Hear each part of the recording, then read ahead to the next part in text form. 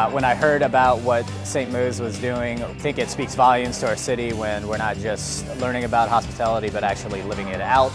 So I'm excited to see what God is going to do in and through this group today.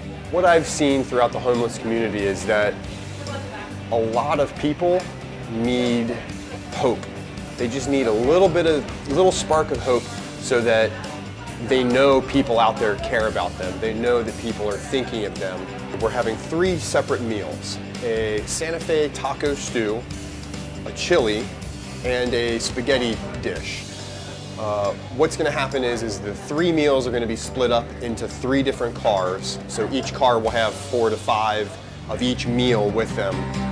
They're going to, the three cars will drive in separate directions all around to hand them out to people where there's certain locations of, of homeless people that kind of congregate or a route that there's always somebody on a certain corner, uh, things like that.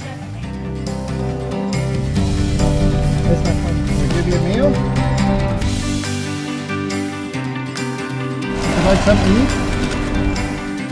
Giving them a little bit of hope and hospitality is a small thing that we can do for so many homeless people in our city.